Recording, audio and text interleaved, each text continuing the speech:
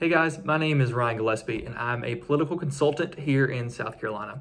So uh, I started out in college. I just interned on a few campaigns. Uh, and then when I graduated Clemson with a political science degree, I uh, started working as what's called an aide de camp, or essentially just a campaign aide that does whatever is needed. So um, I've handed out stickers and parades, put out yard signs, knocked on doors, called through voter lists, you name it, probably have done it. Um, and then I eventually worked my way up. So I've been a field director, just focusing on specific areas within the state or district to get those people out to vote. I've worked on communication staff. I've been a body man, just traveling with the candidate to help them and prepare them for events. But eventually, uh, I've been able to work my way up to being what's called a GC or a general consultant. So my job can be a little different depending on what project I'm working on. For example, I recently worked with a group who just wanted to get solar benefits expanded in the state, but they weren't from here. So they needed someone who could explain to them how the legislature worked, um, what messaging would work and what wouldn't work in the state. Um, also, they can be effective in getting their point across and being successful. More often, I work on campaigns. And what that looks like is really just establishing a campaign plan for the candidate and his team or her team, and then helping them implement that. Campaign plan usually involves creating a budget, creating voter contact goals. So, how many people do you want to contact? And then how you're going to do that, usually by phone or by knocking on their door. Uh, and then establishes a, a, message for the campaign. So, what do you want people to know about you? And you're going to put that on your social media, on your website, you're going to put on your direct mail that actually goes out to people. It helps with fundraising. So campaigns require money. So it's how do you make that money? How do you raise that money? And then it helps with writing speeches. So again, getting the candidate out there, what should they say to people? Um, really, it just comes down to the political side, which is how do you get people out to vote? Comes down to the messaging side. What do you want people to know? And the financial side. How do you spend the money wisely to be able to get to the end of the race and make sure all those things can happen? Um, one of the things that really comes down to in my job is knowing what's going on right now. So you have to stay up to date, excuse me, stay up to date on current events. Um, read the news, make sure that things are not affecting your candidate or your client. If they are, how do you address that? If it's good, then you want to make sure people know about it. If it's bad, you want to be able to respond to it and make sure you kind of clear out whatever issues are happening. Um, it does require a lot of organization. It requires a lot of critical thinking and problem solving skills and just kind of thinking outside the box and being creative.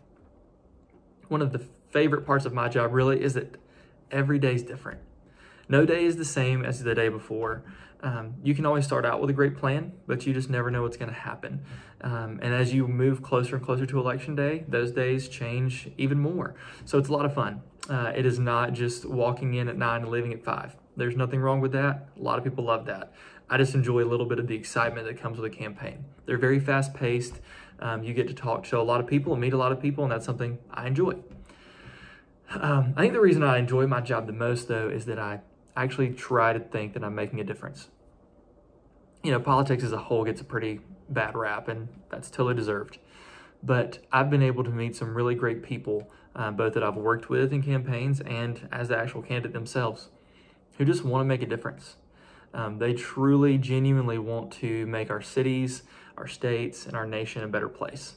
And uh, if I can help them accomplish that goal, then that's what I want to do.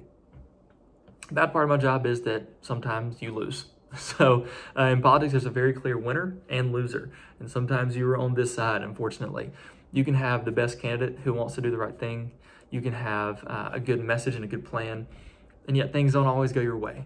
Um, it's a good reminder that we are not always in control, but it can be a tough lesson to learn sometimes. So, um, one thing that I would just encourage all of you with uh, as you're trying to figure out what path to take and what to do after high school, it's to figure out what you enjoy. So, for me, I've loved politics since I was a kid. You know, um, since I was in fourth grade, there was the 2000 election between George Bush and Al Gore. I loved it. But when I got to college, I had a different major completely, not related at all. And thankfully, I had some good friends who were willing to say, hey, that's uh, not a good fit for you, and you need to pursue this passion of yours. But I had no idea how to. So I did some research, I asked some questions, talked to professors who put me in the contact with the right people, and uh, I realized this is what I wanted to do. So for you, think about it. What are you good at? What do you care about? What are you passionate about? If you could do one thing without even having to worry about money, what would it be? Think through some of those questions and then start researching. ask questions, talk to your guidance counselor, talk to your parents, talk to um, your peers, and figure out what are options I can do with this passion or this talent that I have, and uh, see if that's something you would want to pursue.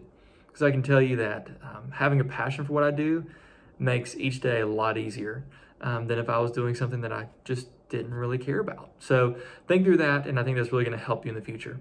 Um, outside of that, would love to talk to you more if you have any questions, and good luck.